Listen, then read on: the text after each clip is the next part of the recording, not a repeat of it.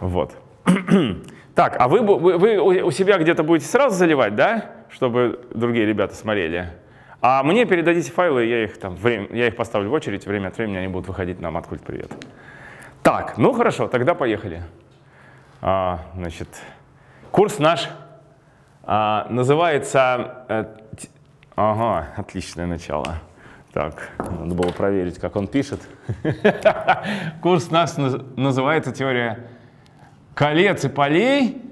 А, вот, но э, фактически, э, фактически это о диафантовых уравнениях.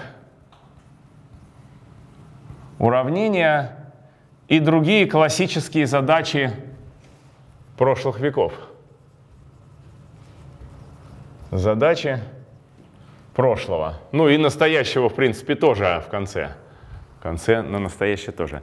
Так, я буду пока пытаться понять, какие тут все-таки пишущие фломастеры. А, ну так, так ничего видно его или очень фигово видно? Очень плохо видно, да? Так, ну нам...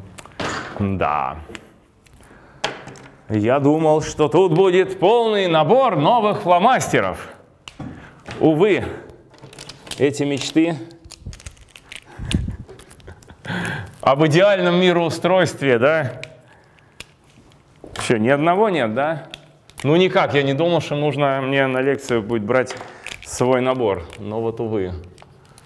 Сейчас мы вы, вытащим отсюда хоть что-то, хоть как-то пишущее. Но все это, конечно, понятно, что это помойка.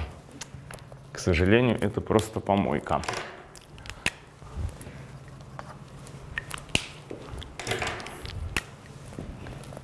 Так, ну вот это, это, это, это более-менее да, годится наверное. Может, тоже попробуем. Вот. Ну, давайте, на, давайте я приведу один конкретный пример, как из э, желания решить уравнение возникает желание рассмотреть некоторую новую числовую систему. Вот. И в остальном это будет также устроено. А, задача детская про кубики. У э, мальчика было некоторое количество кубиков – и он из них составил большой куб на полу. Куб, состоящий из мелких-мелких кубиков. А потом папа у него забрал один кубик. И из оставшихся мальчик составил квадрат на полу. То есть в один ряд все кубики поставил в один ряд. Вот. Ну и э, вопрос, сколько могло быть кубиков изначально? Скажите, пожалуйста, какое уравнение мы должны решать? Да. Одно, значит, одно из классических уравнений прошлых лет. И нужно его решать, ну, в натуральных числах – или в целых, это, ну, понятно, что совершенно то же самое, потому что все равно квадрат будет никак не меньше нуля, вот, и, соответственно, x окажется автоматом числом положительным, или, по крайней мере, ну да, числом положительным. Вот. А, поэтому это то же самое. Ну и вот сейчас я, сейчас я э, вам расскажу, полное его решение. И по пути будет значит, необходимость работать а, в некоторой системе чисел новой. Полное его решение выглядит так. Мы переносим 1 а, в левую часть. А, и получается y квадрат плюс 1, который мы раскладываем произведение y плюс i умножить на y минус i. И это вот должно быть равно у нас x кубе. И понятно, что теперь нам значит, нужно... Э, ну, на, намек состоит в том, что если есть э, произведение э, взаимно простых чисел, скажем, вам известно, что вот есть какие-то два числа взаимно простых, и их произведение равно квадрату или кубу, или там катой степени некоторого числа. И это все обычные натуральные числа. То какой вывод я из этого могу сделать? Каждый из них катая степень. Каждый степень. Давайте я напомню, давайте я напомню, как э, этот вывод делается. Или э, поднимите руку, кто понимает, как этот вывод делается. Можно еще раз c1, c2 взаимно простые. Это взаимно простые натуральные числа. Да, давайте я тогда объясню. А, значит, тут суть в том, что есть такая основная теорема арифметики. Мы ее еще вдоль и поперек пройдем. Вот. Но вот в натуральных числах вы ее знаете, наверное, да? Что любое натуральное число единственным способом представляется в виде а, произведения простых чисел, различных простых чисел в различных степенях. Ну, можно, например, их упорядочить э, по возрастанию. Так, все, наверное, можно немножко прикрыть на некоторое время, а потом снова откроем, когда станет жарко. Вот, то есть, эм, а можно так оставить. То есть, если мы зададим на простых числах просто, что мы их упорядочим от меньшего к большего, ну, уже тогда про степени мы только утверждаем, что они все положительные, да, то есть мы отобрали а, те простые числа, на которые делится число n, и про- проверили, в какой максимальной степени оно делится, разложили таким образом. И основная теорема арифметики говорит, что такое представление у любого натурального числа абсолютно единственно. Это мы чуть дальше, как бы мы, мы к ней еще вернемся.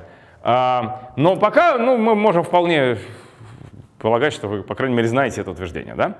Хорошо, тогда давайте L разложим вот так. L. Э, Пусть вот это не n было у нас, а L. Вот, вот это L. Тогда что у меня справа? У меня P1 в степени k альфа 1 на P2 в степени k альфа 2, так далее PR в степени k альфа r, не правда ли? А слева произведение двух взаимно простых по, по условию, да? По условию C1 перпендикулярно C2. Я буду вот такое обозначение использовать. Когда наибольший общий делитель равен единице, я в течение всего курса буду писать вот такой вот знак перпендикулярности. То есть два натуральных или два целых числа э, перпендикулярны друг другу, если у них нет общих делителей. Просто удобное обозначение. А, вот. И а, теперь, значит, что мы можем сказать? Если мы разложим c1 и c2 на множители, то после того, как мы их перемножим, должно получиться в точности то же самое э, выражение, что и справа. Это означает, что на самом деле и у c1, и у c2, ну, те же самые простые множители, ну, некоторые из них, но в каких-то степенях. А вот теперь скажите, что следует из их взаимной простоты?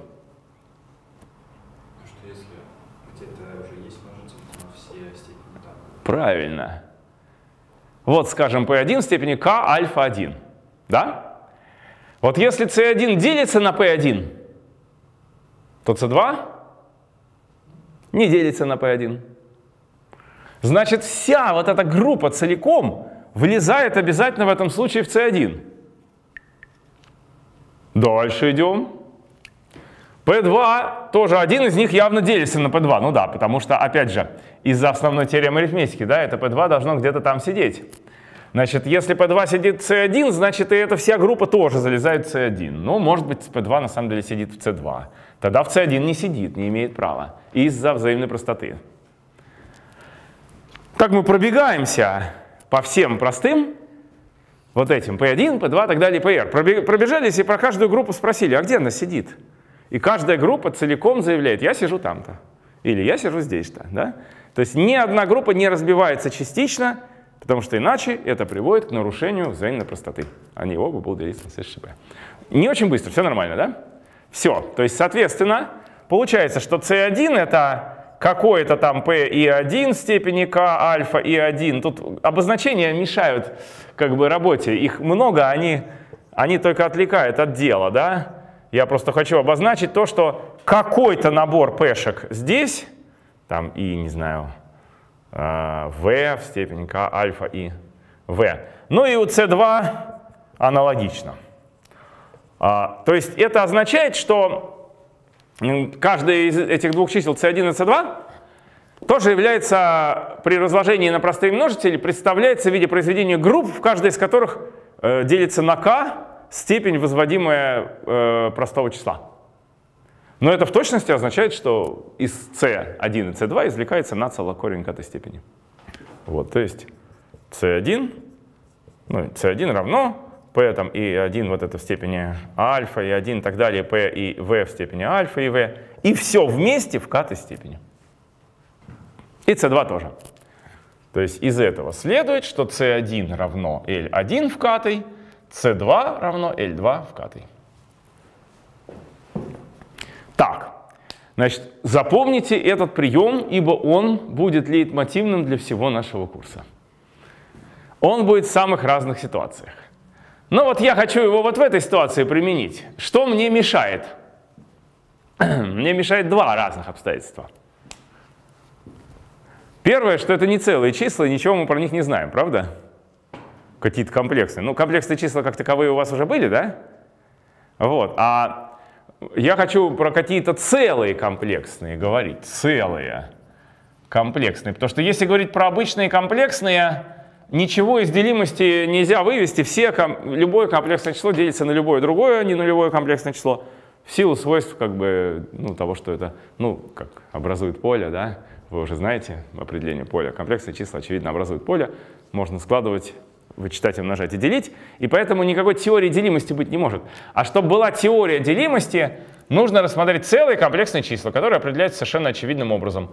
Это числа вида а плюс bi, где а и b обычные целые числа. Вот это вот множество, оно называется z от i. Почему оно так называется, я тоже чуть-чуть пока отложу на будущее. Но хочу, прошу обратить ваше внимание, что множество всех таких чисел, во-первых, очень просто изображается на плоскости всех комплексных чисел, правда? У каждого из вас они есть в тетрадке. Это просто клетчатая тетрадь. Узлы клетчатой тетради. Нет ничего нагляднее комплексных целых, но их как бы я уж сразу скажу, называют гауссовые. Гаусс будет появляться как дух Гаусса мы будем вызывать, в общем, ежи, э, э, каждую встречу и, наверное, по нескольку раз. Вот, потому что это один из главных творителей э, теории чисел тех времен, ну и, собственно, той, которую еще можно как-то разумно изложить студентам, а то, что напридумано в 20 веке уже, честно говоря, я вообще не понимаю. Ну, или почти не понимаю. Вот, и уж точно, да, рассказать никому не смогу. А вот то, что в, те, в курсах обычных рассказывается, это 18-19 век. То есть это фактически это Гаусс и еще предшественники Эйлер, Ферма, у нас там будут всякие теоремы Эйлера, то да сё. А, вот, так вот эти, значит, гауссовые числа. Это числа комплексно целые, то есть просто эм, все комплексные числа с целыми вещественной и мнимой частью. Вот тут вот нулевое, тут сидит и, и это 0 плюс 1 раз и, да? Вот, тут сидит единица, тут минус единица и минус и. Так, значит, нам, ну, очевидно, можно их складывать и вычитать, правда? Как векторы просто.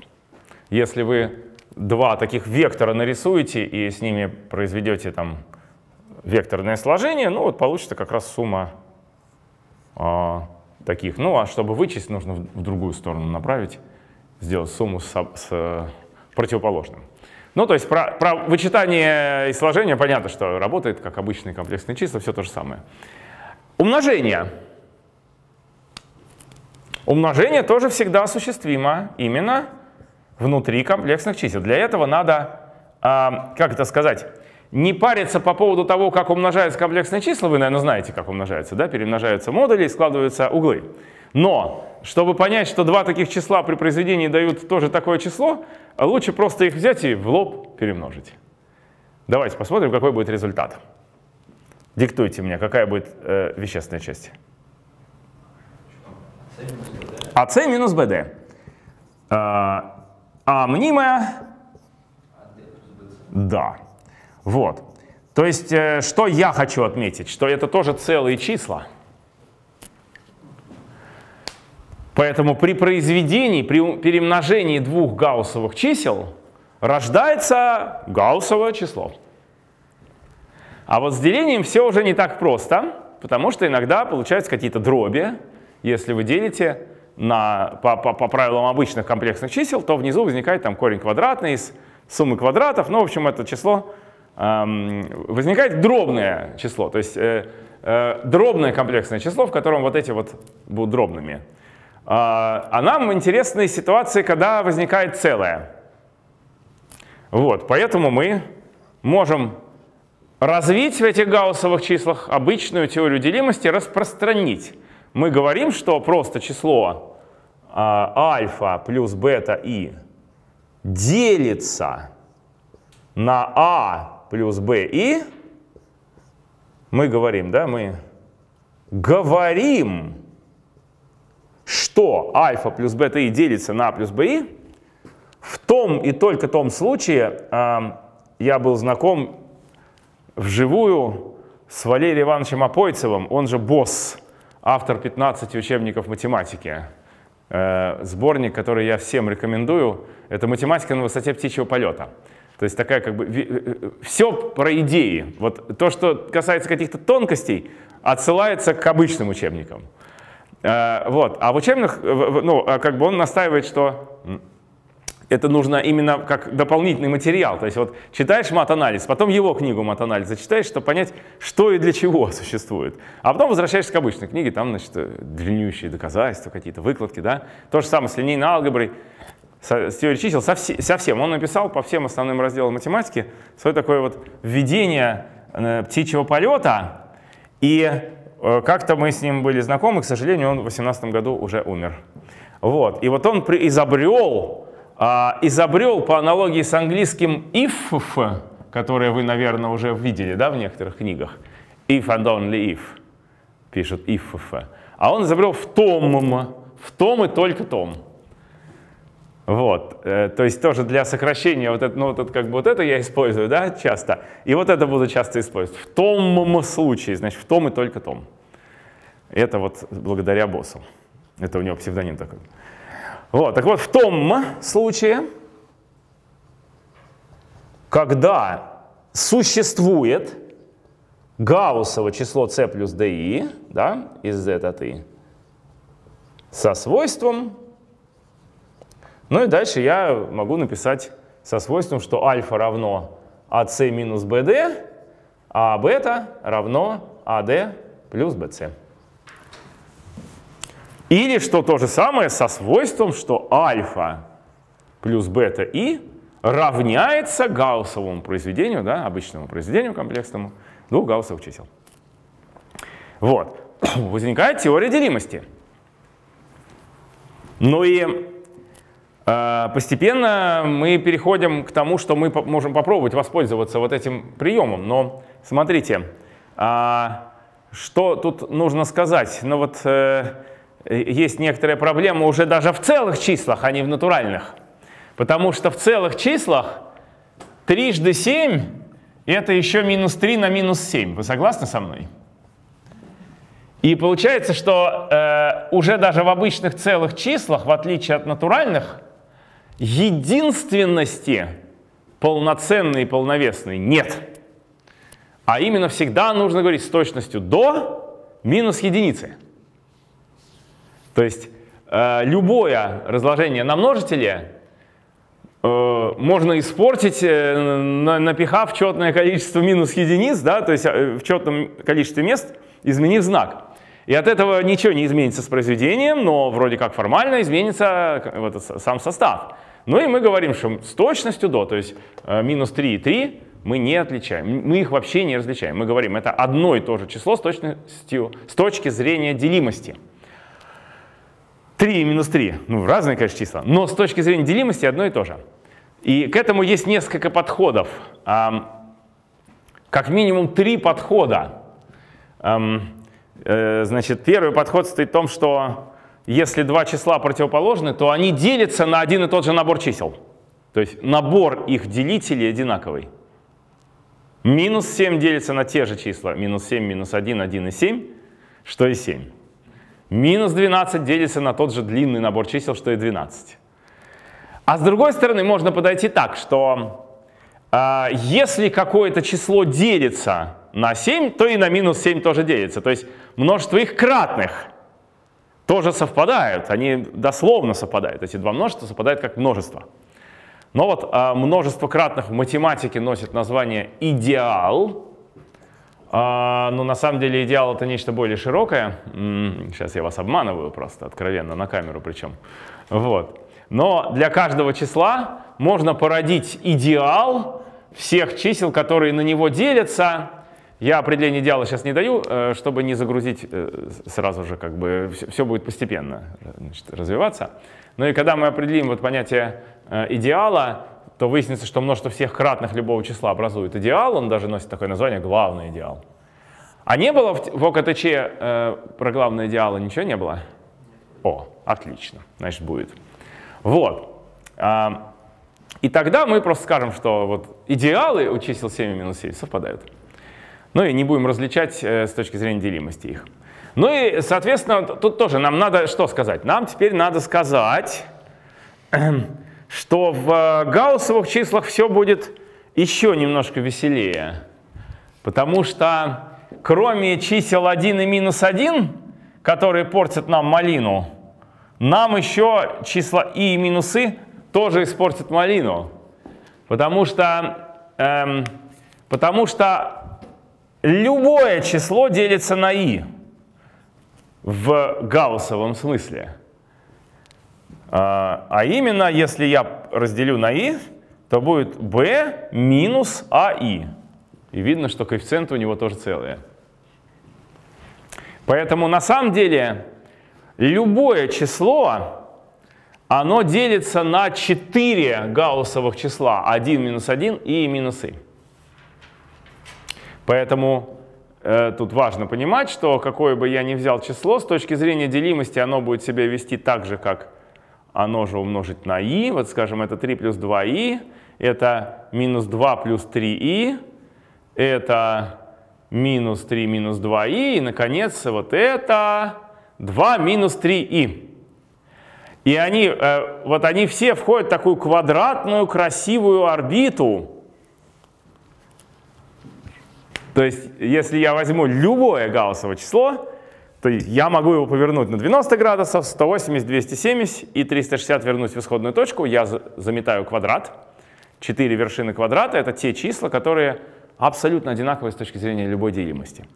То есть по, по, тем, же, по тем же причинам любое из них э, делится на один и тот же набор чисел, как и любое другое.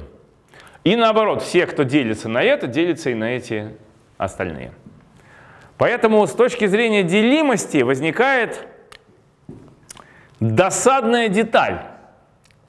Если простое число в натуральных числах было то, которое имеет ровно 2 делителя, то уже в целых это число, которое имеет ровно 4 делителя, правда? Можно так даже определить, чисто формально определить. Простым числом называется число, целое число, имеющее ровно 4 делителя. Мы, кстати, автоматом таким образом уберем э, как 0, так и единицы с минус единицей, потому что у единицы с минус единицей будет только 2 делителя, у нуля их будет бесконечное количество. Поэтому, когда мы скажем, что простым числом называется целое число, имеющее ровно 4 делителя, это даже короче, чем обычное определение. Там простое число — это число больше единицы, у которого только два делителя. Здесь ничего не надо будет уточнять. Вот. А, нет, простое число, число больше единицы, у которого, которое делится только на себя и на единицу. Да? Вот, это такое длинное определение, а можно короче. Это то, у которого 4 делителя. А в гауссовых числах мы простым назовем то, у которого ровно 8 делителей. Все понятно, да? То есть 8 все равно ему гарантированы. Но я хочу убрать вот эти из простых. Почему я убираю эти из простых? По той же причине, почему я их убирал в целых числах. Дело в том, что а, они делят любое гауссово число. В частности, единицу они делят. И вот в, любом, значит, в любой системе чисел, называемой кольцо, да, где мы умеем складывать, вычитать и умножать, мы первым делом перейдем к множеству всех обратимых, это называется обратимые, обратимые элементы кольца. Ну и они будут всегда образовывать группу. Образуют группу. Это вы уже узнали, да, вот эти вот группа, кольцо, слова, узнали? Группа, группа по умножению относительно, относительно умножения. То есть, иными словами, если перемножить два обратимых элемента, получится обратимый элемент, и если взять обратный к обратимым, он тоже будет обратимый. Остальные аксиомы группы гарантируются просто правилами действия в кольце. То есть то, что там ассоциативность есть, то, что единица есть, она и так есть да, в кольце. То есть а, остальное все и так понятно, нужно проверять только, что произведение двух обратимых обратимо, и у каждого обратимого есть обратный. Ну вот, например, в этом случае у меня все понятно. Вот единица, обратный для i это минус i, а обратный для минус 1 это минус 1. Ну и понятно, что любые произведения двух э, элементов из этого квадратика дают тоже элементы этого квадратика. То есть речь идет о группе из четырех элементов.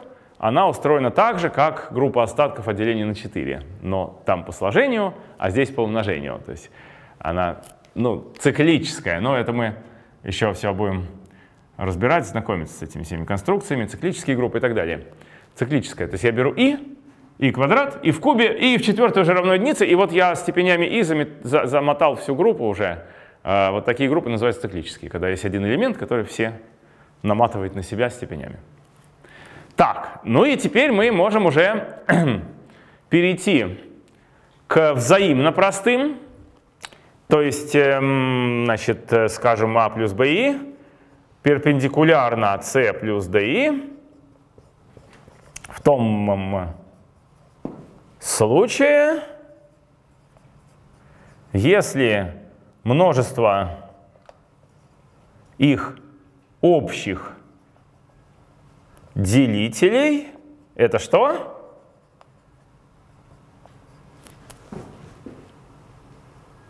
Какое множество? 1 минус 1 и минусы. То есть в точности множество всех обратимых элементов нашего кольца, которые вот эти множества обратимых гарантируются им в качестве делителей всегда, любому числу. И вот если у двух чисел общие делители только вот эти четыре, то мы говорим о взаимной простоте. И на самом деле а, запись этого иногда э, все-таки используется как нод равен единице. Вот видите, почему я а, люблю вот это вот обозначение перпендикулярности. А, потому что вот здесь неверная на самом деле информация. Не, не только единицы. Единицы и минус один и минусы. Просто здесь все в теории делимости всегда с точностью до этих обратимых происходит. Вообще всегда. И поэтому, когда я пишу равно единице, всем как бы все понятно. Но понятно тем, кто давно в теме. Вот. А, э, а если я пишу перпендикулярно, ну вот это вот ровно то, что я хочу сказать. У них крайне мало общих делителей. Ровно столько, сколько им гарантировано изначально, просто как гауссовым числом. Вот, а больше ничего не гарантировано. Вот если их больше нет, то все.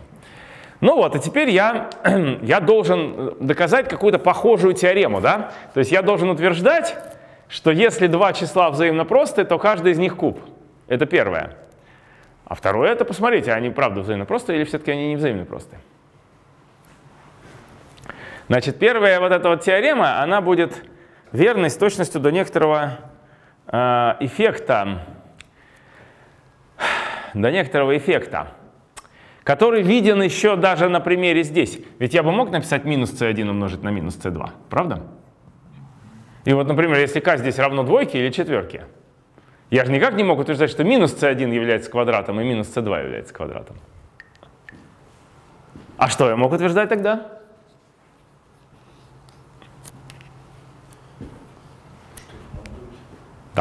что с точностью до знака, что с точностью до этой самой минус единицы, которая портит вот эту всю малину в целых числах, да?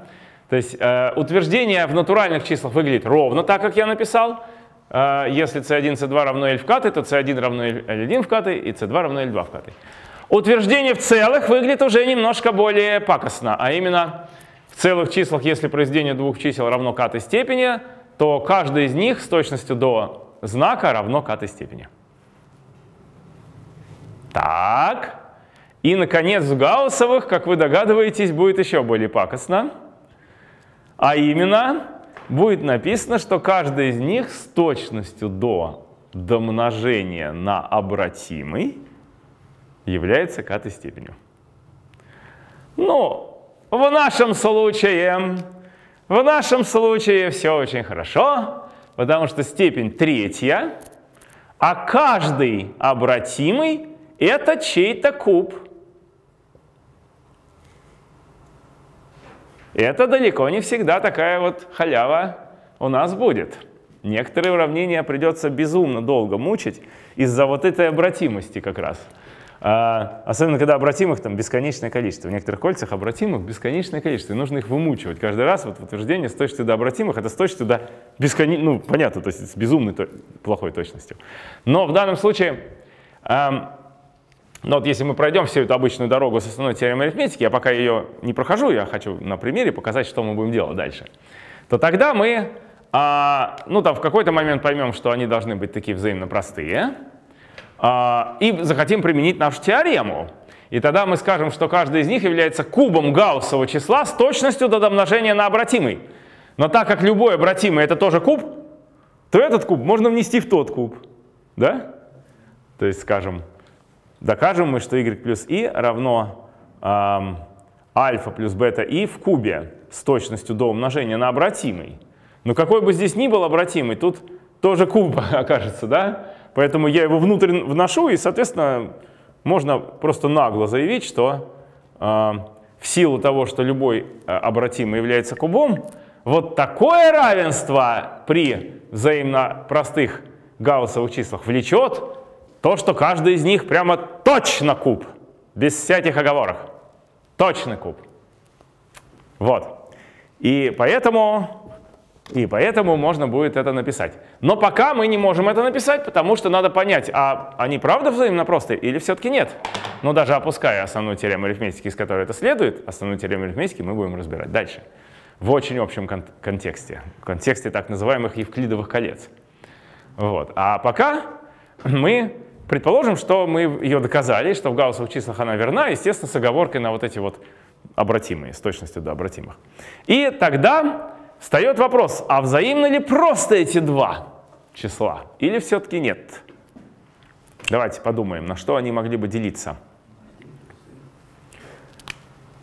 Ну-ка, действительно, вот э, если y нечетно, то у нас некоторые проблемы. Кэп, у нас проблемы, да? Любое число э, любое число, у которого одинакового знака целая и мнимая, э, вещественная и мнимая части, делится на 1 плюс и. Вот 1 плюс и. Вот, блин, как же жалко, что я не взял фломастеры. Я бы хотел здесь красным это нарисовать. Вот сюда должно быть красным было бы. Тогда, значит, а, вот это будет 1 плюс и умножить на и, да? А, ой, извиняюсь, 1, нет, это, это, это не 1 плюс и умножить на и, это 1 плюс и умножить на 1 плюс и. это в квадрате. Вот, это значит, э, э, вот 1 плюс и умножить на и, вот 1 плюс и на минус и. Вот получается такая, значит, э, такой вот квадрат. Э, ну, дальше как бы вот прибавляя кратный 1 плюс и, вы видите, что я попадаю во все э, точки то есть все кратные числа 1 плюс и — это в точности все э, числа... Не туда попал. Сейчас. Не, не туда куда-то попал. Не туда, туда, вот сюда, да, вот сюда. Вот, да, вот так вот они. Вот. Все, крат, все числа, у которых э, это самое, значит, э, у которых вещественные мнимые части одного знака, либо оба нечетные, либо оба четные. Вот, ну, можно это в качестве упражнения просто сформулировать, там будут какие-то упражнения, да, у вас в листочках упражнения, доказать этот факт, что альфа плюс бета и делится на 1 плюс и в гауссовых числах, в том случае, когда альфа и бета одной четности.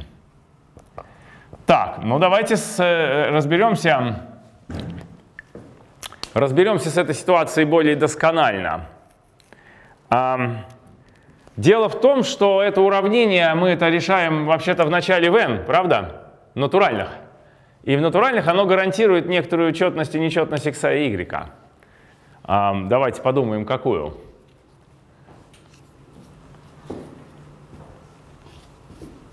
Предположим, что x четно. Предположим, что x четно. Тогда вот это вот число делится на 8.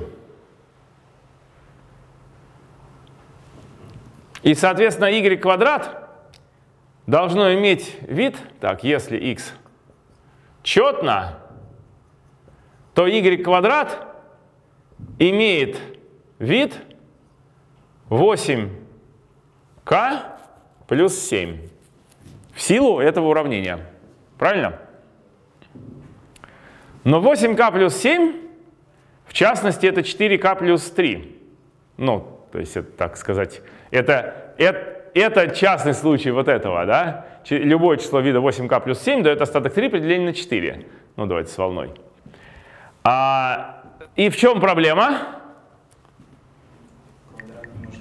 Угу, угу. Это, я думаю, что все, да, понимают. То есть, если число четное, то оно в квадрате на цело делится на 4. Если оно нечетное, то оно 2l плюс 1, в из квадрата 4l квадрат плюс 4l плюс 1. И видно, что у нас единица только может быть при на 4 у нечетного квадрата. Поэтому это было бы противоречием. Противоречие. Вот, поэтому вот из этого уравнения уже автоматом из y квадрат равно x кубе минус 1 автоматом y четно, x нечетно. Ну, они, видно, что разной четности, да, в силу того, что они отличаются от единицы их степени. Вот, поэтому, так как мы поняли, что x четно несовместимо с арифметикой обычной целочисленной, то, соответственно, x нечетно, следовательно, y четно. Но если y четно, то тогда y плюс i не делится на 1 плюс i. Правильно? А теперь давайте предположим, что у этих двух чисел есть какой-то общий делитель. Какой-то общий делитель. Но если есть какой-то, есть и простой. А, давайте рассмотрим какой-нибудь простой. Гауссов простой, да? Гауссов простой общий делитель. А, я не сказал, что такое Гауссов простой. Это тот, у которого ровно 8 делителей. Сказал, да? Ровно 8 делителей. 1i минус 1 минус i, число, и на число, минус число, и минус и на число. Так вот, предположим, что у них, что они оба делятся на какое-то гауссово число. Тогда их разность тоже делится, да, на это число. А их разность это что? 2i, то есть 2i делится на какое-то гауссово число а, x плюс y и. И тут не при делах, как мы знаем, да, его можно стирать, в, утверждениях про делимость оно никакого значения не имеет. А, ну и двойка, на самом деле я даже мог бы и не стирать, потому что 2i это 1 плюс i в квадрате, это даже удобнее. А, делится на какое-то простое число Гауссова, но 1 плюс i квадрат, ну это все, это как бы 1 плюс i, это простое число, да, мы его возводим в квадрат. Почему 1 плюс i простое, спросите вы меня, да? Как доказать, что 1 плюс i является простым числом? Давайте, это тоже будет упражнением, но очень, очень простым упражнением. Так, 1 плюс i простое. Вот. Но вообще, как устроены простые числа среди гауссов, мы обязательно будем изучать и очень подробно. Поэтому можно считать, что это часть будущей программы. Вот. Ну а если так, то тогда x плюс y это обязательно 1 плюс i. То есть все, что остается, это 1 плюс i. А, на 1 плюс i мы уже исключили делимость. Вот работа, в общем-то, подходит к концу. То есть мы записали вот это выражение в гауссовых числах. Э, дальше мы заметили, что в силу этого уравнения в натуральных у нас y четно. Раз четно, то, не, то, то y плюсы не делится на 1 плюсы, а у этих двух одновременно может быть только делитель числа 2i. Но делитель числа 2i может быть только 1 плюсы, никаких других нет. Поэтому все остальные простые числа исключены вот этим фактом, а 1 плюс i исключен четностью y. Следовательно, мы доказали взаимную простоту этих двух чисел. В гауссовых числах у них нет больше делителей. А значит, каждый из них куб. В силу того замечания, что с точностью до обратимых не надо даже говорить. Вот, ну и вот это уже, в общем, конец. Давайте я вот это сотру. Это сотру. и завершу доказательство, завершу решение этого уравнения. Я не знаю, как его решать без гауссовых чисел, между прочим. Говорят, есть какие-то решения у каждых, у, у, у всех этих уравнений какие-то есть, но они настолько через э, одно далекое место, что, в общем, лучше уж гауссовых. Итак, y плюс i из этого равенства обязательно равно э, какие-нибудь новые буквы изобрести или Бог с ними. Давай, а, а ничего, если опять альфа плюс bi напишу? Нормально? В кубе. Так, а теперь мы разложим это на, на ну, как бы разложим это, э, как куб этого, куб, да, формула куб суммы, да? Так, диктуйте. Тут надо быть аккуратным из-за и. Альфа в кубе, что дальше? 3 альфа квадрат бета и. Далее. Минус 3 альфа бета квадрат. Минус бета в кубе и. Правильно? И, следовательно, э, мы можем посмотреть, что тут при и, что тут не при и а, то, что при i равно единице, потому что здесь y плюс 1 раз i, а то, что не при i равно y, то есть y это будет альфа в кубе минус 3 альфа бета квадрат, а единица, внимание, будет 3 альфа квадрат бета за вычетом бета в кубе. Что это означает для беты?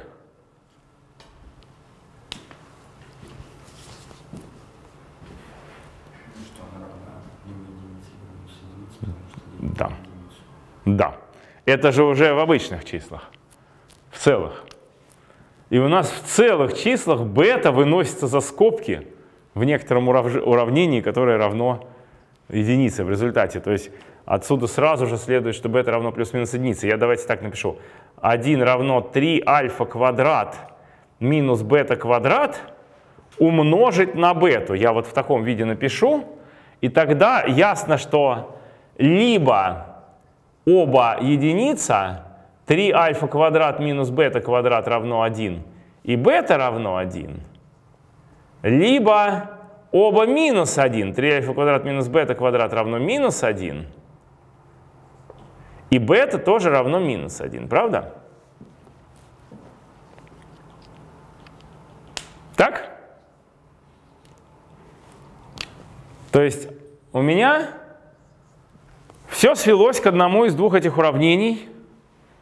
Но я утверждаю, что э, вот это вот неосуществимо, правда? Эм, если b это равно единице подставить наверх, что у меня будет?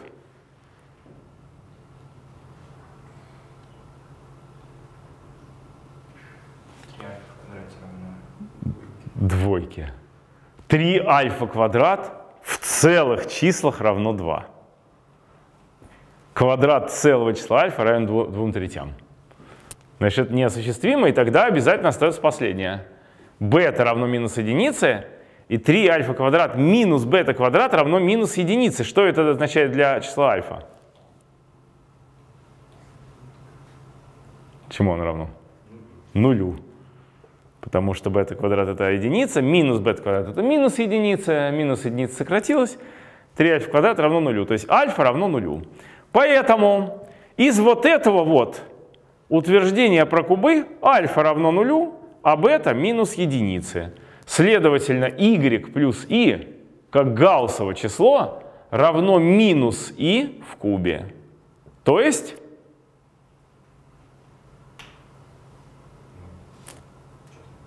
i. То есть y плюс i равно i. А следственно y равен нулю. Задача решена. Кубиков был один. y равно нулю, x равно единице. Значит, был один кубик, он сложил из него куб. Папа украл кубик, осталось 0 кубиков, он сложил пустой квадрат. Это единственная возможность. То есть мы э, доказали переходом... Да, кстати, у вас есть перерыв э, в середине лекции или нету? Что-то я как-то его уже пропустил наверняка. Обычно есть. Да? Слушайте, сейчас 9.58. А до скольки вообще лекция? Ну что, сделать перерыв или нет? Как? М? Давайте сегодня, потом я буду делать. Сегодня не сделаем, а потом я буду делать. Сегодня такой вводный, спокойный. Вот. Итак, выйдя в гауссовые числа, мы сумели установить некий довольно удивительный и неожиданный факт про целые числа. Ну или там натуральные. Что куб рядом с квадратом никогда не стоит э, выше него на единичку. Такого не бывает. Но помилуйте, это же утверждение связано с натуральными числами, причем тут гауссовые, да? То есть получается, что арифметика гауссовых чисел позволила доказать теорему про совершенно обычные натуральные, совершенно не имеющие никакого отношения к, э, к, к значит, каким-либо и. И вот это очень важная история, которая повторяется постоянно. На самом деле это история про всю математику, в сущности. Все конструкции, которые математика изобретает, они связаны с необходимостью ну, решать те или иные уравнения или устанавливать те или иные факты а, про обычные числа. Изначально про обычные, потом уже. Потом уже люди привыкают к гауссовым числам, начинают формулировать аксиомы там, да, какие-то утверждения, точнее там, аксиомы, теоремы. То есть там, скажем, есть гауссовые цепные дроби. Ох, ё-моё. Ну, гауссовые числа появлялись, чтобы решать обычные уравнения. Но человечество пошло дальше, спросило, а можно устроить гауссовые там, цепные дроби, а можно в гауссовых числах сформулировать там какие-нибудь знаменитые утверждения из области целых чисел. То есть, как это называется, как вот приручили каких-то домашних животных, да? Вот так же приручают вот эти вот дикие системы, и они становятся уже домашними, и уже ставятся обычные вопросы, которые ставились для целых, ставятся уже в них. Но это уже второй этап, а появлялись они для того, чтобы вот решить какие-то обычные уравнения. Вот. Отлично, но вы меня должны сейчас спросить, если вы э, как бы вот как канонический математик э, будете размышлять, э, вы должны меня спросить, а может ли быть в обратную сторону, вот y квадрат равно x кубе плюс 1, а не минус 1, да? Вот, оказывается, что это значительно более сложная теорема, значительно более сложная, которую я сам в 57-й школе когда-то смог доказать с помощью там еще и обращения к учебникам по, ну то есть как бы с помощью некоторых э, подпорок смог доказать, и впоследствии я это доказательство забыл, мне его принесли год назад, оно на 5 страниц очень сложного текста. В общем, я вас не буду им грузить, вот, потому что а, в теории чисел должен быть соблюден баланс между как бы красотой и чудовищным количеством технических моментов. Вот, так что это, это вот уравнение мы решать не будем, но я могу написать, по крайней мере, ответ. Ответ, вот если мы ищем в натуральных числах э, решение такого уравнения, то я думаю, что вы уже догадались до ответа. Да, да. x равно 2, y равно 3. Никаких других вариантов нет. Ну, 0,1, но это не натуральных, как бы, да. Хотя, хотя студенты 0 считают натуральным числом. Так что 0,1 тоже должен считаться. 0,1, 0 минус 1. Но если брать в целых, да, в целых, в целых, э, да, но к этому мы на самом деле вернемся в конце курса, когда будут эллиптические кривые у нас. Потому что это типичный пример. В целых числах там будут такие. Значит, э, минус 1, 0. Дальше 0 плюс минус 1. И 2 плюс минус 3. Еще добавится некоторое решение, которое называется бесконечность. Но это я спойлю, это спойлю, это я уже спойлю. Будет некоторое решение, которое будет называться бесконечность, и все это вместе будет образовывать группу остатков отделения на 6. Ну, точнее, группу, которая будет, как говорится, изоморфна группе остатков отделения на 6. То есть будет, э, в ней будут операции также устроены, но как именно эта группа устроена, об этом я буду говорить уже потом, а, когда мы будем заниматься эллиптическими кривыми. Это где-нибудь в апреле, наверное, будет. Так, а теперь некоторый общий план. Я сейчас, значит, напишу, какие уравнения нас еще будут интересовать. Вот. И с какими мы будем встречаться объектами. Ну, во-первых, основной объект, э, который мы будем значит, это самое изучать, он обобщает вот такую вот э, таблицу сложения и вот такую таблицу умножения. Помните, э, где-то в детском саду, ну или в начальной школе, я уж не знаю в какой, не помню, нет, скорее, наверное, средней, были правила, нет, кстати, в начале, у Света в начальной, были правила общения с четными и нечетными числами. Сумма четного и нечетного числа всегда нечетна. Сумма двух четных или двух нечетных всегда четна. То есть тут, тут должно было быть написать ЧН, ЧН, тут знак плюс в скобочках вот таких вот круглых, то есть в, кру, в, кру, в кружочке. Тут Ч, тут Ч, тут Н, тут Н. И дальше правила общения с теми же четными и нечетными только относительно умножения звучало так. Произведение двух четных четно, произведение четного и нечетного четно, и вообще, можно так сказать, произведение любого четного и любого вообще числа всегда будет четным. Да? Вот. А вот два нечетных при умножении идут нечетные.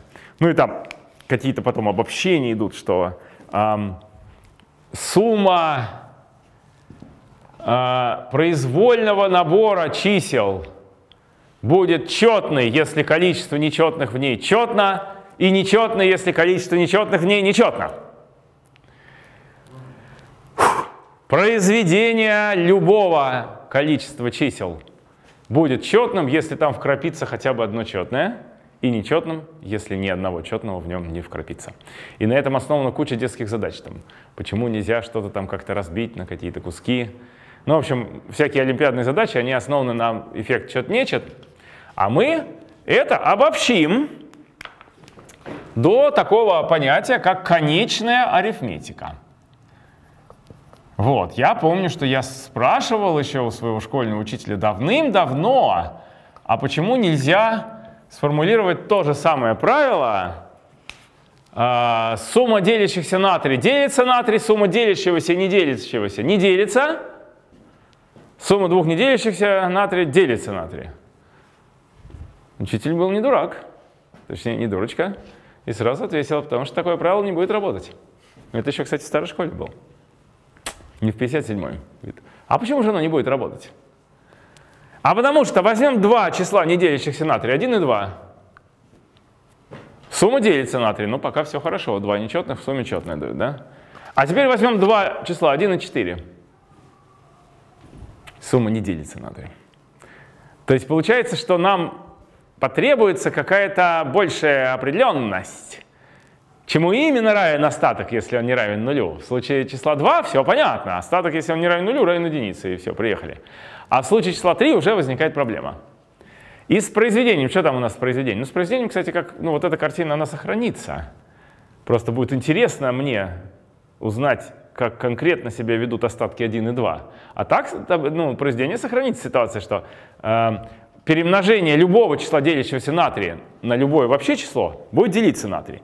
А перемножение двух чисел, которые не делятся на 3, никогда не будет делиться на 3. То есть эта табличка как бы сохранится, но после того, как мы поняли, что вот это меняется и не может быть в таком виде представлено, нам уже стало бы интересно, конечно, 0, 1 и 2. То есть все возможные остатки. И тогда, значит, по плюсу у меня получается очевидная таблица 0, 1, 2, 1, 2, 0, 2, 0, 1, да? Это сложение. То есть правило сложения чисел э, как остатков от деления на 3 совершенно очевидно. Складываете и берете потом остаток от деления на 3. 2 плюс 2 это 1. А умножение будет выглядеть следующим образом. Умножение будет выглядеть следующим образом. 0, 0, 0, 0, 0, 1, 2, 2, 1. Вот полное уточнение. Но в таком виде уже в детском, по крайней мере, возрасте не проходят. Проходят дальше, в математике, уже настоящий. Конечную арифметику надо знать на зубок. Все, что с ней связано, нужно знать наизусть. И это то, что, с чего мы начнем. То есть я, как я прошу прощения сразу у тех, кто это и так знает. А поднимите руку, кто уверен, что он с этим объектом отлично общается и без меня. Я не обижусь. Ну, тогда точно будем, тогда точно повторим, да, то есть я думаю, если все сразу поднимут руки, тогда я уже задумаюсь, наверное, на ОКТЧ было это очень подробно, и тогда это не, можно пропустить. Все, тогда мы это обязательно сделаем. Вот, ну и понятно, что возникает вопрос э, дальше про любое э, число и остатки отделения на него. А, вот здесь еще одно, используя обозначение. Мод m. Конечная арифметика мод m. Здесь m больше единицы, натуральное число. Ну, или целое больше единицы, то же самое, что натуральное больше единицы. То есть это любое число, не обязательно простое. И мы рассматриваем вот такие таблички.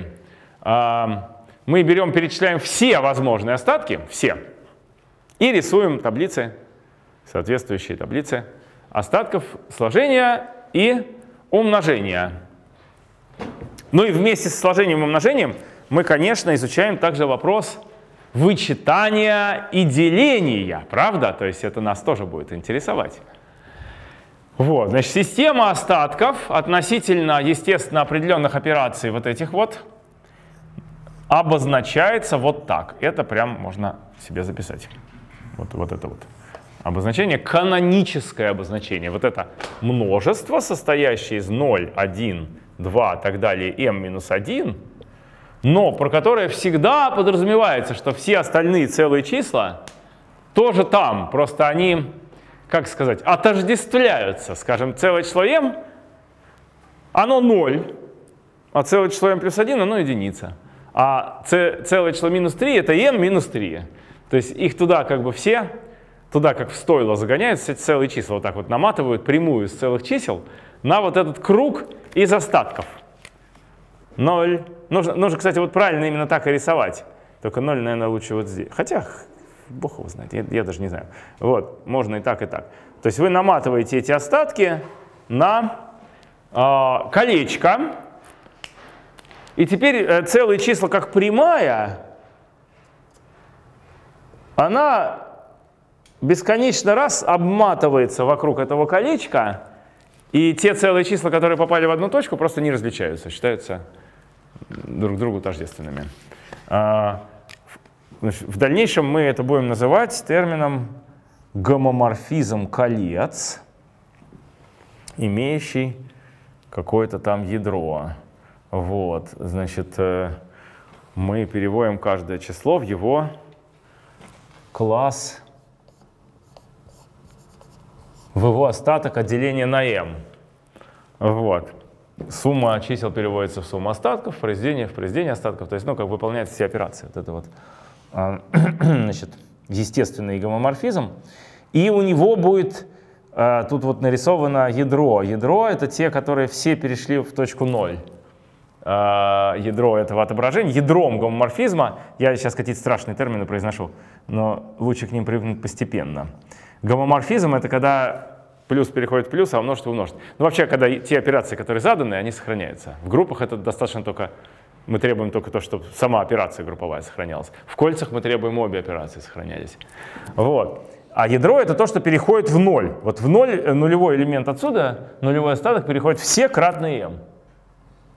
Ну и вот в, в высоких учебниках всегда нарисована вот такая вот, э, пусть она вам просто помазывает глаза в высоких учебниках по алгебре очень быстро начинают рисовать вот такие вот длинные цепочки, картиночки. А 0 переходит сюда, и это переходит сюда путем вложения. То есть э, каждое m кратное попадает в соответствующее, то есть m, 2m, 3m и так далее, да, они просто здесь вложены в z. Потом они вот сюда переходят путем значит, взятия остатка, ну и все они тоже переходят в ноль. И это называется короткая точная последовательность. Пусть тоже помазолит глаза, просто пусть будет. Короткая, точная последовательность. Точная означает, что каждый раз а, ядро вот этого совпадает с образом пришедшего отсюда. Такое. Вот. Ну, это почти везде очевидно, кроме вот этого места. Вот. Но, в общем, если вы когда-то захотите вот прям освоить гомологическую алгебру, что мне не удалось, то первый шаг это вот этот вот будет все время такие последовательности рисоваться. Но в данном случае речь идет просто о том, что мы берем остаток отделения на m. И конечную арифметику строим вот такие таблички. И это будет наш значит, важнейший пример кольца. Это всегда кольцо при любом m. Всегда кольцо. Ну и, наверное, вы догадываетесь, когда оно окажется полем.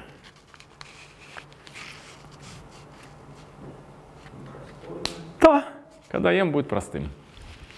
Этим мы будем, этим мы займемся очень подробно. Другие примеры, значит, э, колец и полей, которые будут для наших целей нужны, значит, ну вот эти все фактор, факторы, значит, z, z от i, z от омега будет кольцо чисел Эйзенштейна. Дальше, значит, при любом поле множество многочленов с элементами в этом поле будет кольцом.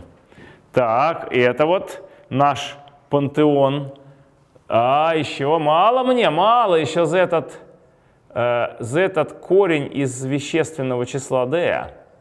А мне тоже очень будет нужен при решении некоторых уравнений. Так, не забыл ли я какие-то еще колечки? Ну, давайте -т -т Это кольца. А поля у нас, соответственно, Q, рациональные числа, Z по PZ. Ой, а где у меня Z а, так я же не написал как раз вот z по mz и не написал. Я z по mz не написал. Значит, тут z по pz, то есть простое имеется в виду. Так, комплексные числа, вещественные позабыл, да? Вот, ну пока хватит. Конечные поля, может быть, а, общего вида мы и коснемся. Конечные поля, посмотрим, как пойдет. Общего вида. То есть не все конечные поля сводятся к остаткам. Есть еще. Так, ну, это, значит, поля у нас. Ну, групп у нас очень много разных будет, поэтому я их даже не буду выписывать сейчас. А уравнения, значит, и вообще, ну, что, что мы с вами, а, про, что мы с вами изучим? Значит, а, прежде всего, рождественскую теорему Ферма обязательно. Рождественская теорема Ферма. Совершенно замечательный факт по своей красоте, который все-таки, видимо, предположен Ферма, а доказан Эйлером.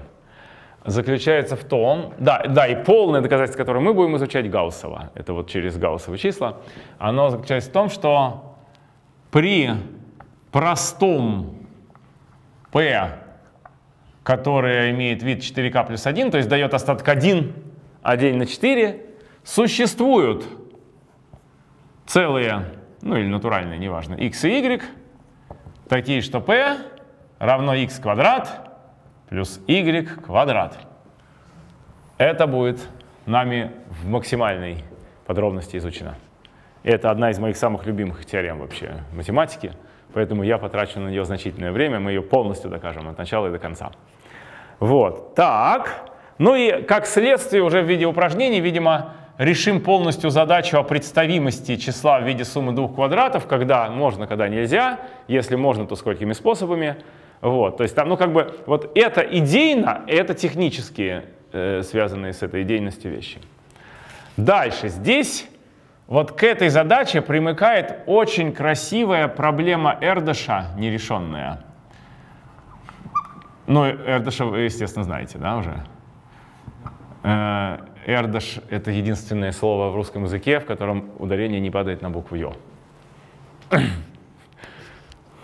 Тут в школе учили Юру, моего сына, и он это самое. Он пришел, папа, ударение всегда падает на «ё», абсолютно всегда. Я говорю, это не всегда.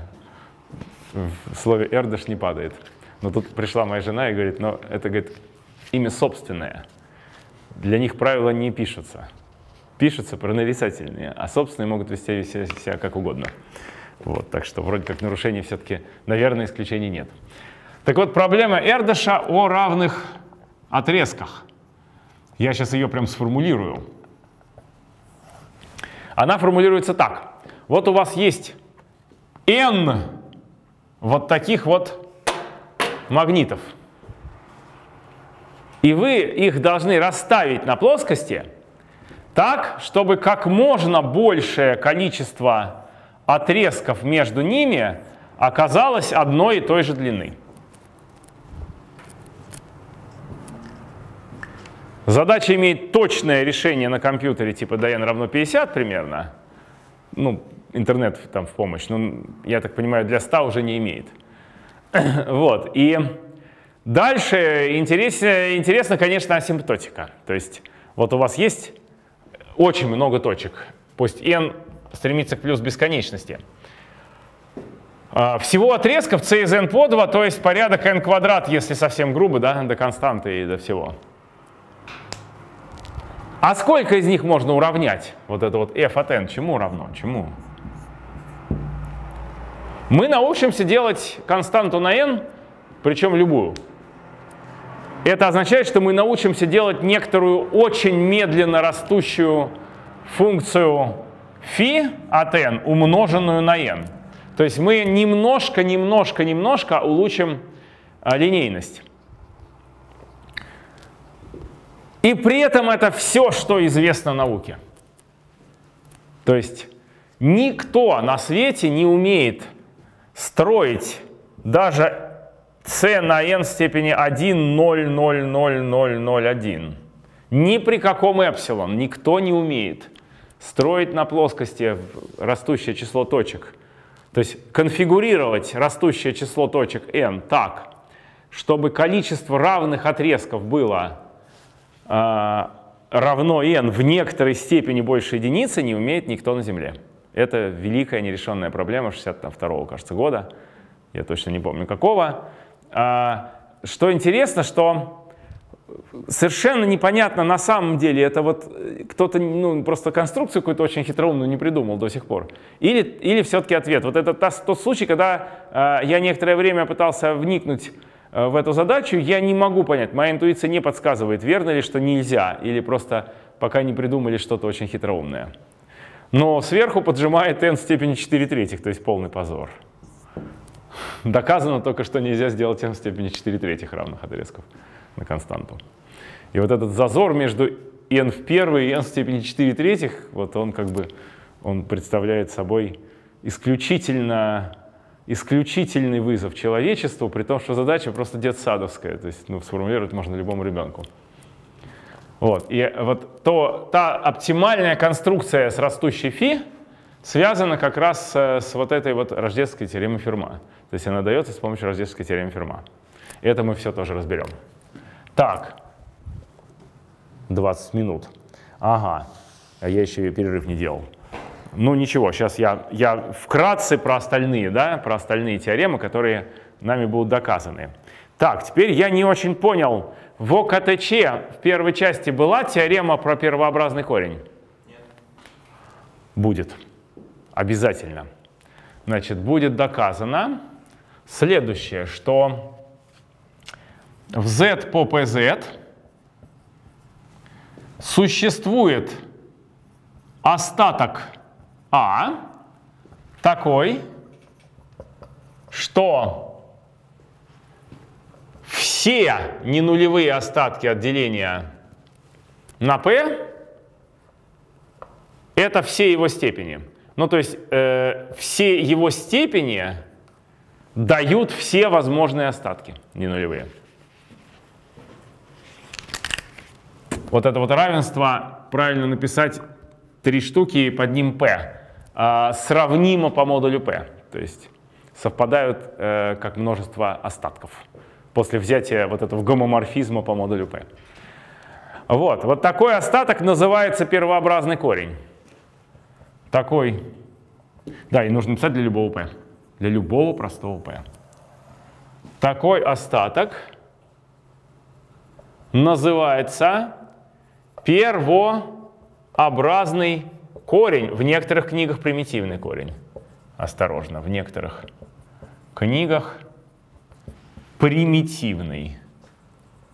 Но слово корень почему-то вот остается, тем не менее, хотя мне кажется, что это совершенно не, не по делу. Какой корень? Почему корень-то? Просто остаток, да, который перечисляет все остальные. Но почему-то называется так. Вот. А, докажем эту теорему обязательно двумя разными способами. Там оба доказательства очень красивые. Так, ну, конечно, будет малая теорема Ферма. Собственно, она будет, видимо, раньше, чем все, что здесь написано. малая теорема Ферма, а точнее будет теорема Эйлера. Теорема Эйлера — это обобщение. И метод шифрования RSA, если у вас еще не было его на других парах. Еще не было? Во, будет. У нас тогда будет раньше, чем... Ну, очевидно, он будет где-то у вас на каких-то других предметах. То есть метод шифровки и передачи данных, который э, полностью связан с арифметикой вот этого кольца ZPMZ. Из вот этой теоремы Эйлера, из которой следует малая теорема Ферма о том, что а в степени p дает тот же остаток при делении на p, что и а. Всегда для простого p. Вот. Она обобщается для произвольного m, но некоторым очень аккуратным образом, то есть не, не напрямую совершенно. Вот. И вот это обобщение дает возможность шифровать данные. Дальше. Первообразный корень поможет нам построить правильный 17-угольник циркулем и линейкой.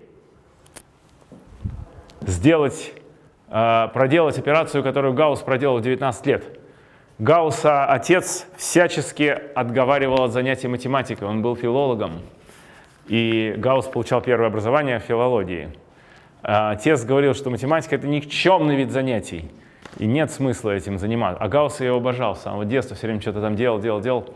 Вот. А потом в 19 лет он построил правильный 17-угольник циркулем и линейки, чего не могли сделать 2000 лет подряд. Это сразу стало известно на весь мир, и про его сына написали в газетах во всех, которые тогда были. Э, и он сказал, я сдаюсь. Видимо, действительно у тебя сверхталанты, занимайся математикой. Все, оставляй филологию. Все. И дальше он, значит, еще через несколько лет доказал докторская диссертация Гаусса, просто зацените. Докторская диссертация Гаусса — это основная теорема алгебры о том, что любой многочлен э, над комплексными числами имеет n корней. Ну, то есть, ну, скажем так, раскладывается в произведении линейных множителей. Или, что то же самое, любой многочлен имеет какой-то комплексный корень. Вот. Э, вот такие вот докторские диссертации были. Мне со своей докторской, конечно, стыдно рядом стоять.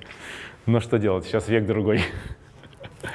Вот, так что мы, значит, это, э, это да, ну, кстати, основной теорема, нет, основной теорему алгебры, наверное, в этом курсе мы не затронем. Вот, но вот построение циркульной линейкой затронем, и вообще всю теорию, теория построения циркулем и линейкой изучим. В частности, мы поймем, Почему нельзя произвести три секции угла, то есть разделить произвольный угол на три равных части? Почему нельзя построить целый ряд других правильных n-угольников? Да, здесь правильный, конечно. И почему нельзя произвести квадратуру круга, круга и удвоение куба? То есть э, почему нельзя с помощью циркуля линейки э, построить квадрат, площадь которого равна данному нарисованному кругу, и почему нельзя с помощью циркулярной линейки удвоить куб, то есть, грубо говоря, построить корень кубический из двух, если дан единичный отрезок. Вот это все будет выяснено, что нельзя, а 17-угольник можно.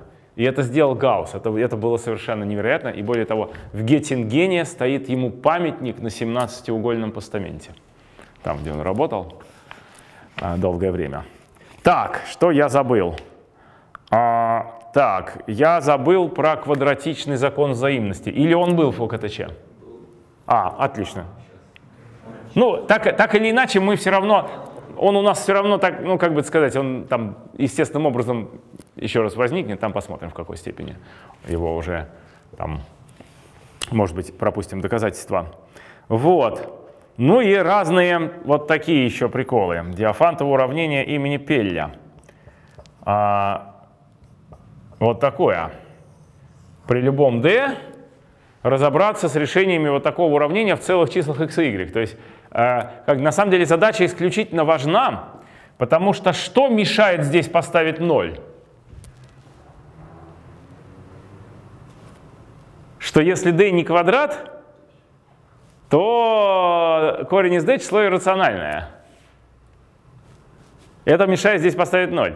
А вот если не 0, то какому первому значению это может быть равно? Ну, так как это целое число, то, соответственно, 1 или минус 1. И вот оказывается, что уже это возможно бесконечным количеством раз, и, собственно говоря, это совершенно конкретной процедурой делается. И это, значит, э, то, что мы обязательно разберем, как это делается, это теория приближения. По сути, приближение для числа корень из d строится из решения этого уравнения. Уравнение Пелля. Вот, так, и с ним будет связано вот это кольцо, z корней из d. множество единиц в нем — это как раз множество решения этого уравнения. Так, ну мы, значит, с помощью гауссовых чисел э, рассмотрим все пифагоровы тройки. Дальше с помощью чисел Эйзенштейна докажем теорему Ферма при n равно 3, великую теорему Ферма. Вот уже три было, да, малая, рождественская и великая. Все три у нас будут. Но только великая будет при n равно 3. Дальше будут разные деликатесы, типа там будет, значит, э, ну, короче, дальше гипотеза АБЦ, э, эллиптические кривые и как пойдет. Что успеем, то успеем. Так, понятен ли примерный план действий на весь семестр?